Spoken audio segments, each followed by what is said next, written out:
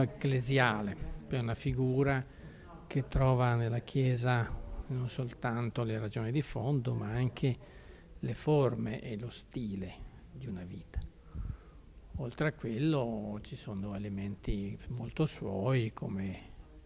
la vicenda, educa- l'attenzione educativa e questa sensibilità in ordine alla vita civile, più che politica proprio alla vita civile.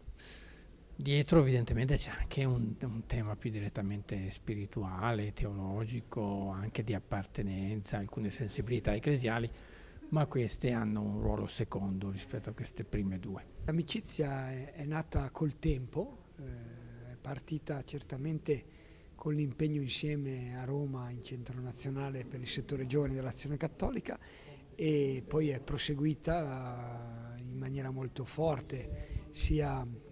nell'accompagnare attraverso la preparazione spirituale il matrimonio eh, della nostra famiglia, eh, sia poi quando lui come vicario generale mi ha chiamato a, assieme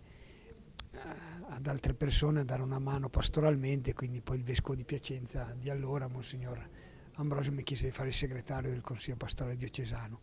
Direi che i capisaldi di questa amicizia erano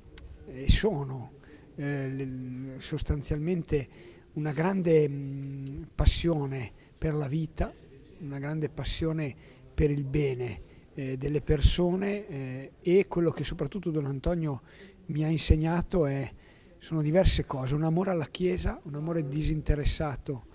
eh, verso la Chiesa come segno dell'amore di Dio e da qui una grande attenzione educativa e a leggere, questo me lo porto nel cuore, a leggere le cose nella loro complessità e nella loro articolazione, sempre con uno sguardo però di, di fiducia e di speranza sul fatto che il bene si possa compiere.